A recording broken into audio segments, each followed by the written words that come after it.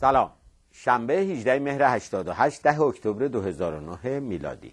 شش تا موضوع رو راجع بهش صحبت می‌کنیم. موضوع اول جایزه صلح نوبل یا نوبل صلح که به آقای باراک اوباما رئیس جمهوری فعلی امریکا تعلق گرفته و ایشون در اولین واکنش خودش مطرح کرد که این جایزه رو تقسیم می‌کنه قسمت می‌کنه یا هدیه می‌کنه به اون دختری که در خیابون جلوی دیکتاتوری و استبداد میسته و گلوله می‌خوره. به ندای جنبش سبز ایران هدیه کرد و رهبری که در بنده که مراد ایشون رهبر مبارزات در برمه بود.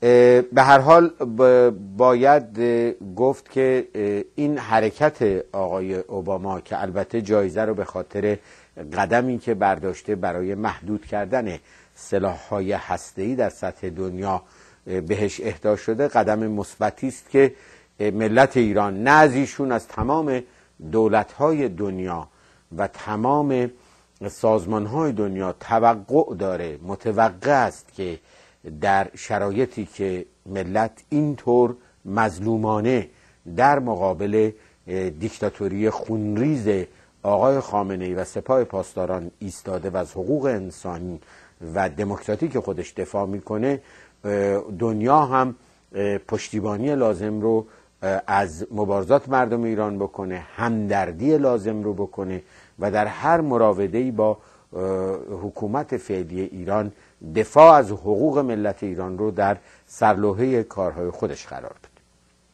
همینجا این رو هم بگم که خیلی از دوستان در خارج از کشور همونطور که قبلا هم صحبت کردیم در تلاش هستند که برای جایزه نوبل صلح برای سال آینده جنبش سبز ایران رو به نمایندگی آقای کروبی کاندیدا بکنند به خاطر مبارزات جانانه ای که این جنبش و شخص آقای کروبی در دفاع از حقوق ملت ایران کردن و دفاع از حقوق انسانی ملت و افشاگری از تجاوزات و تعدی هایی که به این ملت شده در طول مبارزات آزادی خواهانه ای که داشتن.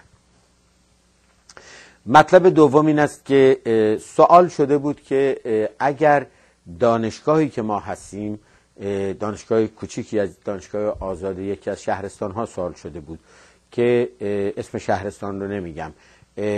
دانشگاه ما سیاسی نیست و تعداد دانشجویان سیاسی خیلی کمه. چگونه باید کار بکنیم؟ شبیه همین سوال رو هم یک دوست دانش آموزی از یک مدرسه کرده بود که دبیرستان ما سیاسی نیست. باز شبیه همین سوال رو یکی از دوستان از یک شهر کوچیک کرده بود. از شهر زنجان پرسیده بود که البته زنجان شهر کوچیکی نیست که ما در فضای شهر زنجان فضای سیاسی نیست. چجوری می‌تونیم شروع کنیم؟ پاسخ من به همه این قبیل سوالات در مدرسه در دانشگاه در یک شهر این است که اولین قدم این است که شما دو سه نفر هم فکر خودتون رو پیدا بکنید. اگر تنهای تنها هستید. یک کمیته سه نفره باشید. چون همفکری و با هم بودن بسیار مسئله. دومین قدم این است که خودتون مثل گروه کوچیکی که قبلا صحبت کردیم در کل تشکیلاتی که داریم کار می‌کنیم سه تا کار رو بکنید. مطالعه بکنید. ارتباطاتتون رو منظم کنید شبکه سازی رو بکنید و شروع بکنید از ساده ترین کارها انجام دادن. مثل شعار نویسی روی دیوار مثل اعلامیه دادن. همین الان به تدریج داره جنبش آماده میشه برای حرکت سیزده آبان. اعلامیه ها توی اینترنت میاد. اگر خودتون هم به اینترنت دسترسی ندارید از دیگران بخواید می‌تونید پرینت بگیرید تکثیر بکنید و اعلامیه رو پخش بکنید. پخش اعلامیه هم میشه از بالای یه بلندی از یک پنجره پخش کرد پایین توی مدرسه.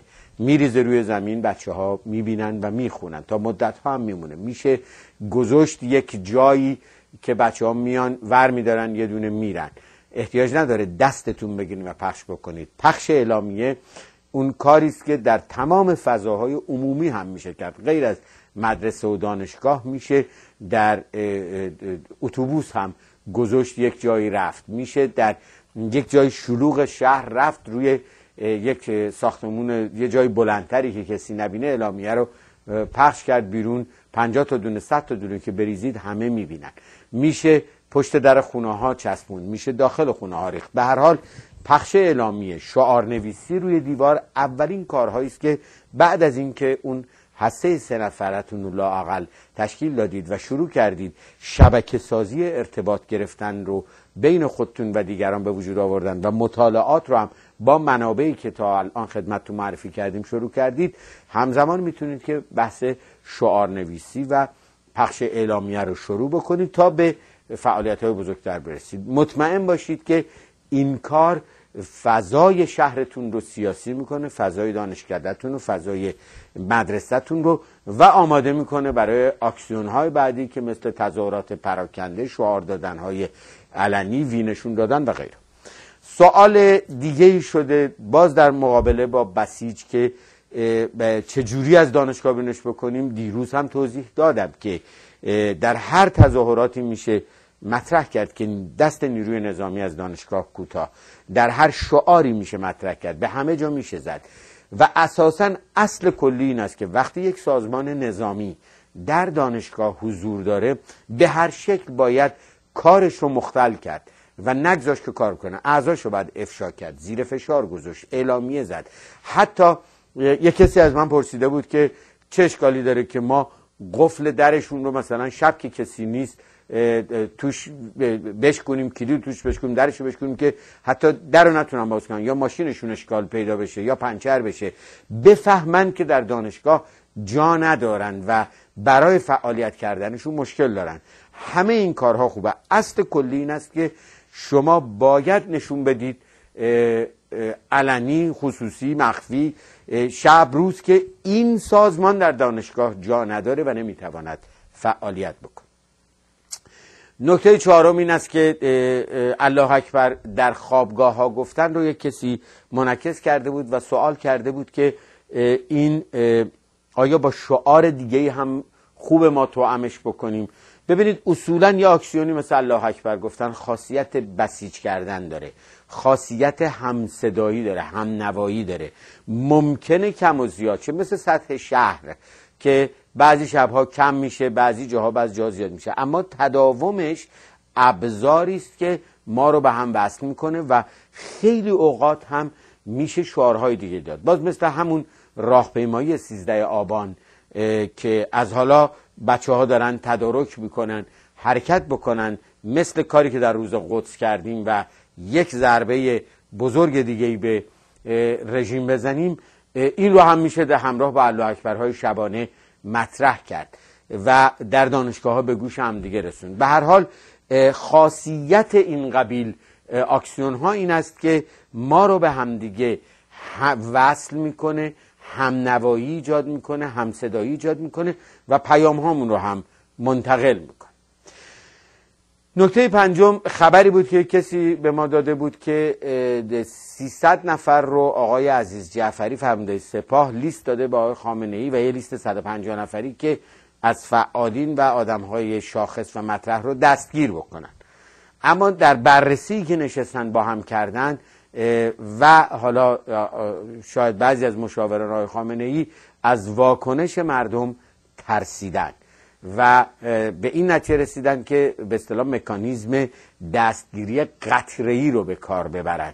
یه تعداد کمتری رو بگیرن یه در باز رها کنن دوباره اونها رو رها کنن یه دیگر رو بگیرن و به این ترتیب در واقع هم ایجاد رعب و وحشت برای با دستگیری بکنن هم ساکت بکنن هم دوچار واکنش بزرگ مردم نشن. این به ما نشون میده که اعتراض ما به دستگیری هر زندانی سیاسی زنده نگه داشتن یاد زندانیان سیاسیمون بسیار مؤثره. من راجع به این موضوع باز هم روزهای بعد صحبت می‌کنم. اما نکته آخری جزوه است که امروز زمیمه برنامه امروز می‌کنم. نوشته آقای جرمی بیچر نویسنده خیلی خیلی خوب امریکایی است که کتابی به نام اعتصابات داره استرایکس و آدمی است که متخصص خیلی خوبی در اعتصاباته. راجع به جنبش کارگری و اعتصابات کارگری و اعتصابات اجتماعی در واقع این جزوه چند صفحه ای رو که یکی از دوستان زحمت کشیده به فارسی ترجمه کرده من زمینه برنامه امروز می‌کنم. بحثش رو می‌گذارم برای فردا در محتواش. بحث بکنیم که چگونه به اعتصابات باید جنبش برسه و اصول کلیش چیه تا بعد وارد جزئیات بشیم. تا فردا شاد پیروز موفق و سرفراز باشید به امید پیروزی ایران ایران.